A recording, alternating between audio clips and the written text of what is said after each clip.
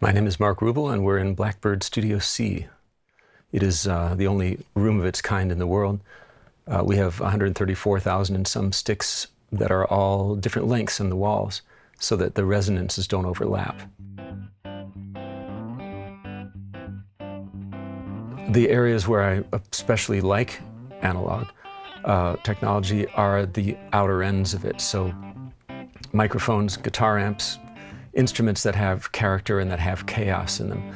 I think things that are too predictable are not as interesting to us. So uh, this is a Sarge amplifier.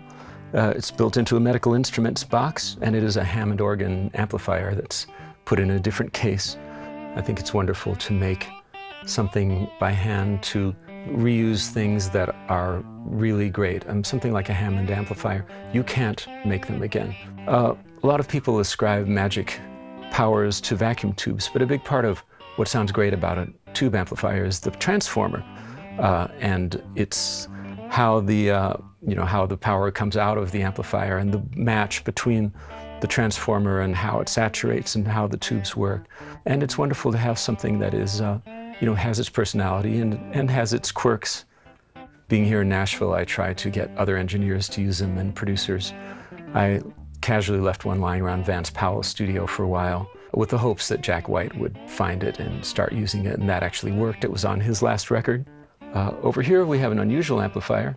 Looks like a road amp. It's made out of folded up street signs.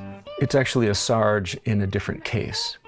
Uh, I'd like that, you know, with such a simple device, three knobs, you really have a wide array of sounds. I tend to use this amp with different cabinets. Uh, sounds great with single 12s, I found uh, single 15s, but it sounds great through a 412 cabinet. It really depends what we're doing. So one of the applications that I use uh, analog outfitter amps for, in addition to as guitar amps or bass amps, is for reamping things, especially with low-end instruments like a bass drum or a bass guitar, because part of what comes out when you're generating distortion is the upper harmonics you know, a lot of listening is being done these days on laptops and tiny speakers that actually have no bass. When you have a high amount of high frequency content, it implies the low end. I think music is one of the most important things that human beings do. I think it's important to everyone. As we all know, it triggers memories, it triggers emotions. It's one of our ways of processing our lives and everything around us.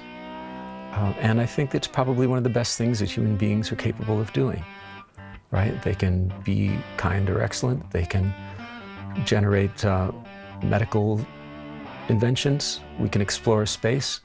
But I think uh, the creation of music and other arts is about the finest thing that we do as a species. And so it's vitally important that it's done as well as we can do it.